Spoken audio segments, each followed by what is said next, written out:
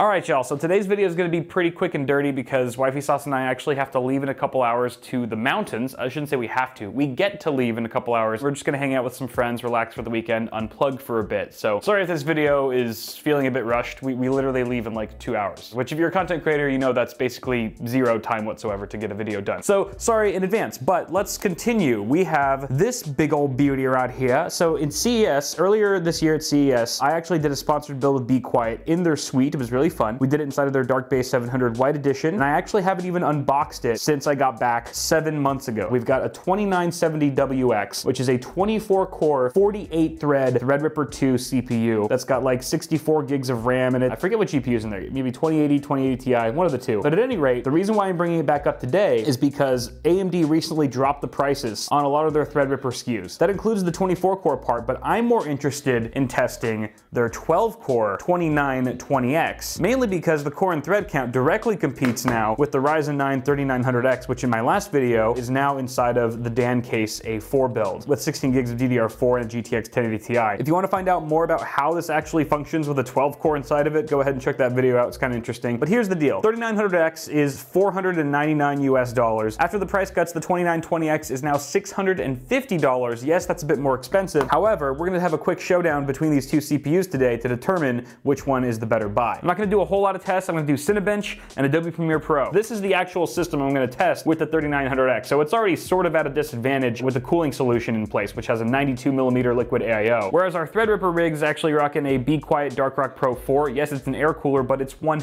hell of an air cooler. Outperforms a lot of liquid coolers, in fact. And of course, we have a large chassis, so there's going to be a lot more airflow pumping through that thing than this guy. Should be kind of an interesting test. Yes, it's not apples to apples because of the chassis and the coolers and all that. But again, rushed video. So on that note, let's get started.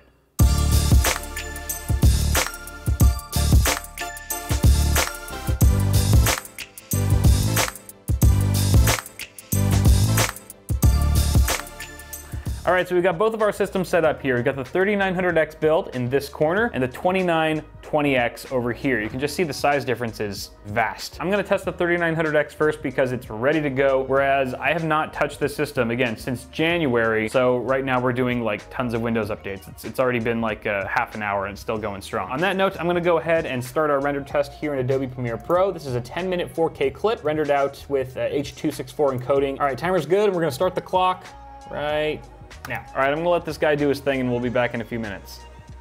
Okay, that was pretty fast. 9 minutes and 14 seconds is the score. We got up to 92.6 degrees Celsius at, at its hottest, although I think it was sort of hovering in the high 80s to maybe 90 C or so. Obviously, very warm, but if you guys watched the last video, we went into detail about that. Not too bad though for a 92 millimeter liquid AIO. Clock speeds were looking really good as well the whole time. We were hitting in the high threes, even the low fours. You can see here, a lot of the cores actually spiked up to 4.6, just over 4.5 gigahertz uh, on some of the cores at times. So that's our score for Premiere. Let's go ahead and fire up Cinebench. All right, Cinebench R20 now. Here we go.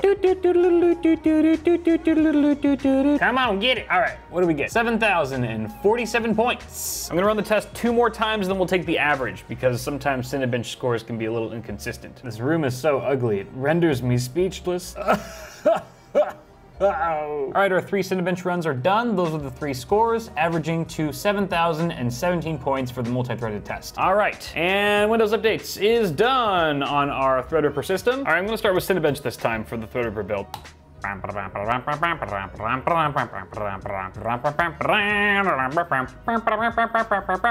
All right, sorry, that's probably making you sick. All right, just like the 3900X, I'm gonna do three runs and we'll average them out. Okay, the results are in. Our Ryzen 9 3900X got a score of 7,017 in the multi-threaded test. In the same test, our Ryzen Threadripper 2920X scored 5,702. The 3900X outperformed it by 20 3%. And it's $150 cheaper. Woo! My boy is killing it. So it's pretty evident as to why AMD recently slashed the prices of their second gen Threadripper CPUs. I think they should have slashed them even more because it's not even performing in the same ballpark, which is insane. Of course, there's still the argument to be made for high-end desktop platforms like uh, X399 here if you have a need for the extra I.O. There's more connectivity on board, you get more PCIe lanes, granted they're PCIe Gen 3 versus Gen 4 now, and you also get things like quad channel memory support. But at the end of the day, the 3900X is just an absolute unit. I'm just super impressed right now. Let's, let's try the uh, Premiere test and see what happens. All right, we're just about ready to start our Premiere test here. Exactly the same clip, same effects and everything, same render settings, and we are ready to rock. Remember, the time to beat is nine minutes and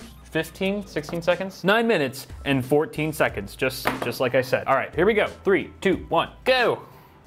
All right, so how did our 2920X stack up against the 3900X in a 10 minute 4K render in Adobe Premiere Pro? 15 minutes and 54 seconds compared to 9 minutes and 14 seconds with the Ryzen 9 part. And really, this system had every advantage going for it. I mean, it had the better case with more airflow, it had a better cooler. This thing was like hovering in the 60s. It was like 65 to 70C the entire time. And still, the 3900X could not be stopped. The multi-threaded performance of the 3900X is unbelievable. I mean, unless you need the extra I.O., I think the 3900X is by far the better value as demonstrated today. The 3900X just continues to impress me every time I test it and do something new with it. The multi-threaded performance for 500 bucks, a 12 core CPU that's outperforming a second gen Ryzen Threadripper 2920X by that much, and it's $150 cheaper. It's just really cool right now that uh, this kind of performance, this level of performance is coming to the mainstream desktop CPU market. There's my quick and dirty video, guys. Sorry again that it's, it's quick and dirty, but I'm gonna bounce out of here, guys. I got a mountain to climb.